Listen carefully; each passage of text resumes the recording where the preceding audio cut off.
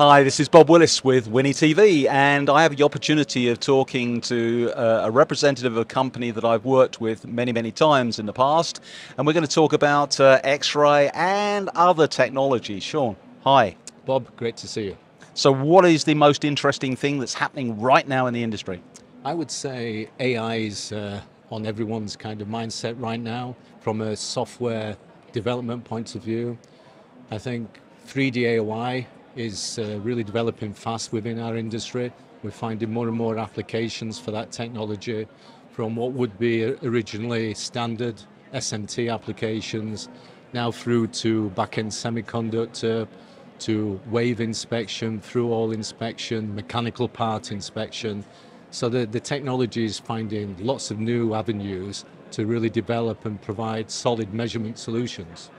So you you've talked in the past, and we've discussed in the past the the going more into the semiconductor side, and obviously you've been involved in those sort of technologies probably for all of the years that I visited your company. So what's the new development there?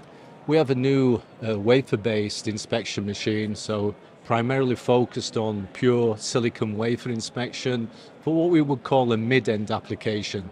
This is where the customer prints uh, solder paste direct onto the wafer and then we take high-speed 3D measurements pre-reflow and post-reflow, and obviously optimize the process for them based on those measurement results.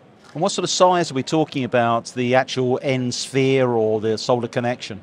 Uh, the actual deposits are about 100 microns in height, mm. so we're measuring the coplanarity of the solder paste, volume of the solder paste, height of the solder paste, all these unique measurements, three-dimensionally at 3 micron lateral resolution and 0.1 micron height resolution. So mm, very, yeah. very precise measurements but at high speed. Is there any opportunity for uh, the, the toy that I've loved playing with uh, at your facility, the reflow side of thing? Is that, is that something that could actually be used to see uh, the process actually happening?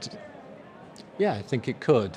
Uh, without a doubt, uh, post-reflow inspection is still a big part of our shall we say, major market uh, development, post-reflow inspection, if you look at the SMT industry, 80% of 3D, 3D AOI applications are still post-reflow.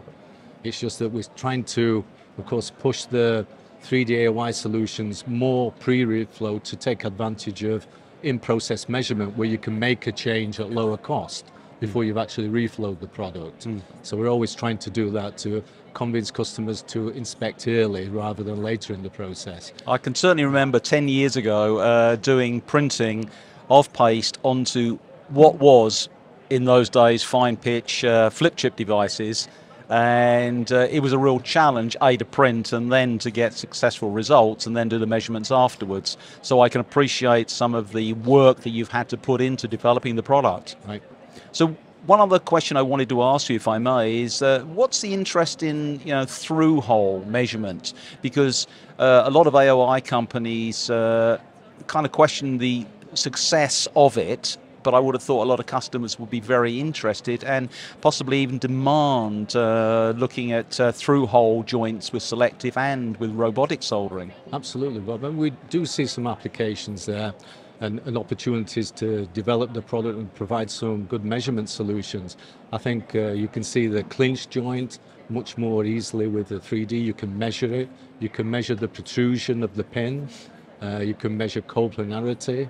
There are lots of through hole or uh, pin in hole measurements you can take three dimensionally and, and, provide much more accurate results than you could in the old 2D world, which was go no go. So you can set tolerances and obviously get a much more reliable result. Now, you haven't actually mentioned one of the things that obviously a lot of customers would want, which uh, is uh, topside fillet, topside. which obviously AOI can't do. Right. So obviously that's an advantage with uh, uh either inline or offline uh, X-ray inspection. No, exactly. There are some applications where optical is just not the right solution, of course, and that being one of them. And even with 3D, we still have to have line of sight at the object we're inspecting or measuring. Although we do have angled camera capability now, so we can look orthogonally at 45 degrees. but with still some applications where X-ray is just a much better solution. All right. Well, thank you very much for joining us for uh, this quick interview, and it was just nice to talk about football before we actually came on air. Thank thank you, you very much Great once again. Cheers. Thanks, Bob.